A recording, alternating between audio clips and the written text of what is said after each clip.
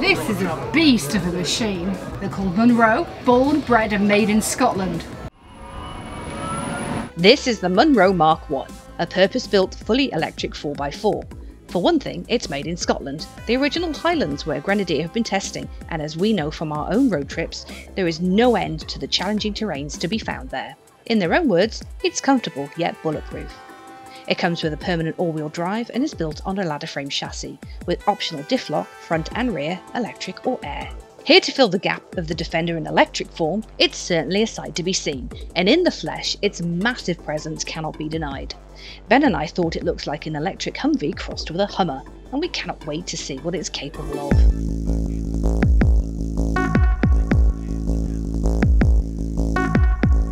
If you like this type of video, why not subscribe to the channel?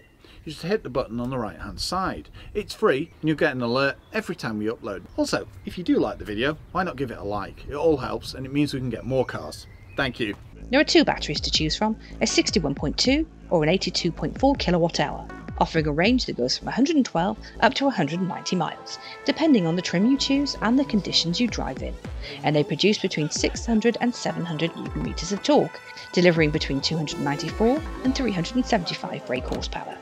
You can also tow with them with a staggering capacity of 3.5 tons, and you can carry up to a ton on the bed.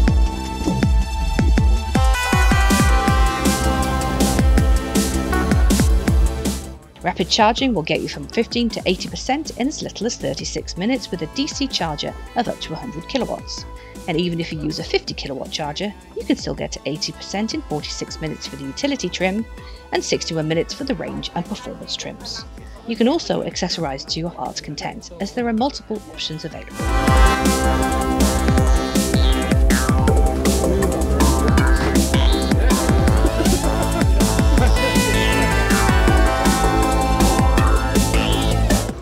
Beast of a machine. So we hope to get behind the wheel of these, uh, hopefully on a press day during the back end of summer. Fingers crossed, and we'll keep you posted.